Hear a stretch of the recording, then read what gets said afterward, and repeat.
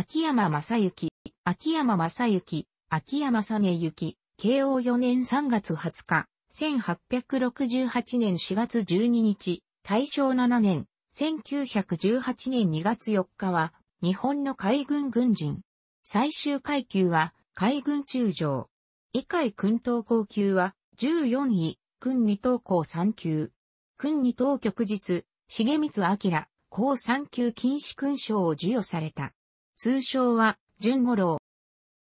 三兄は、日本騎兵の父と言われた、陸軍大将の秋山義古。時系は、朝鮮形状電気重役の岡正確か。子は四男に女。元参議院議員、大石久子は、正幸の孫、次女、典子の長女。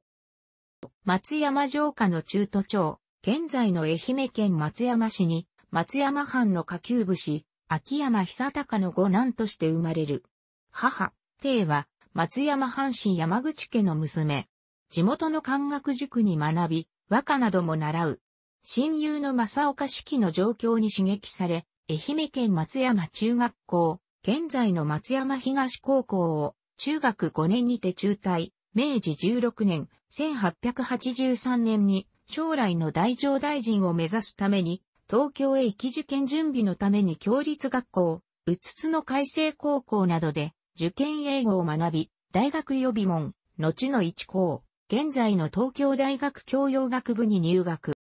大学予備門では、帝国大学進学を目指すが、秋山家の経済的苦境から正幸は、兄の高校に学費を頼っていたため、卒業後は文学を志して、帝国大学文学部に進む式らとは道をことにし、明治19年、1886年に海軍兵学校に17期生として入校。明治23年、1890年に海軍兵学校を主席で卒業し、海軍軍人となる。卒業後は、少尉候補生として、解剖官、比叡に上官して、実地演習を10、座礁したオスマン帝国軍艦、エルトゥールルの生存者総監、エルトゥールル強遭難事件にも従事する。明治25年、1892年、海軍少尉。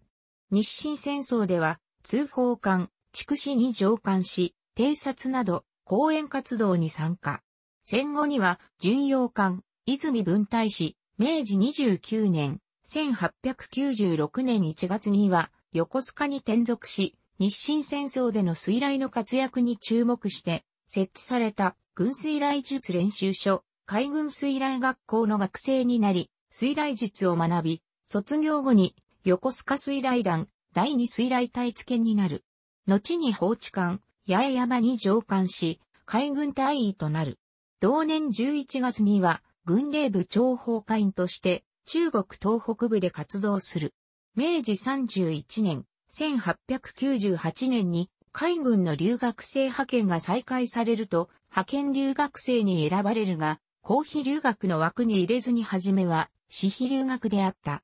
1897年に、アメリカへ留学した正幸は、ワシントンに滞在して、海軍大学校校長、軍事思想家であるアルフレッド・セイヤーマハンに指示し、主に大学校の図書館や海軍文庫での図書を利用しての術の理論研究に努める。この時米西戦争を艦船部官として視察し、報告書、サンチャゴ・デ・クーバの役、後に極秘情報第118号と銘打たれるを提出する。サンチャゴ・デ・キューバ海戦の一環として、アメリカ海軍が実施したキューバのサンチャゴ港閉塞作戦を見学しており、この時の経験と報告が日露戦争における旅順港閉塞作戦の礎となったと指摘されている。翌明治32年、1899年末にイギリス駐在を命じられ、視察を行い翌年8月に帰国。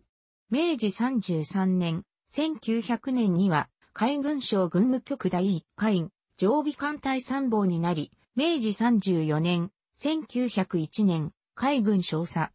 明治35年、1902年には海軍大学校の教官となる。明治36年、1903年6月に宮内省御用係、稲尾真理の三女である都市こと築地の水耕者で結婚。対路海戦論者として、古月会のメンバーとなって、日露海戦を積極的に推進した。翌明治37年、1904年に海軍中佐第一艦隊参謀、後に千人参謀。朝鮮半島をめぐり、日本とロシアとの関係が険悪化し、同年からの日露戦争では、連合艦隊司令長官、東郷平八郎の下で、作戦担当参謀となり、第一艦隊機関、三笠に上艦する。ロシア海軍旅順艦隊、太平洋艦隊撃滅と封鎖のための旅順口、攻撃と旅順港閉塞作戦においては、千人参謀を務め、機雷不設などを行う。ロシアのバルチック艦隊が開港すると迎撃作戦を立案し、日本海海戦の勝利に貢献、日露戦争における日本の政略上の勝利を決定づけた。明治38年、1905年12月の連合艦隊解散後は、巡洋艦の艦長を歴任し、第一艦隊の参謀長を経て、大正元年、1912年12月1日からは、軍令部第一班長、後の軍令部第一部長に任ぜられる。明治41年、1908年、海軍大佐となり、大正2年、1913年には、海軍少将に昇進。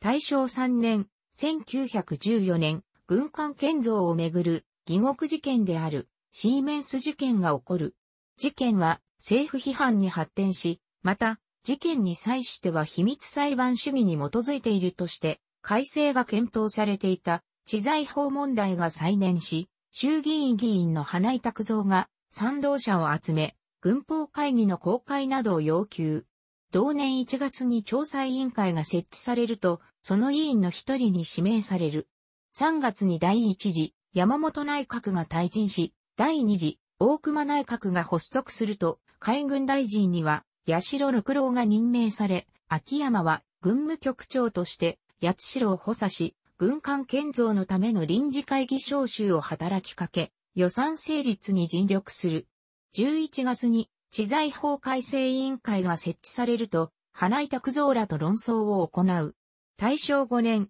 1916年2月には、軍令部に転出したため、委員は鈴木貫太郎に引き継がれる。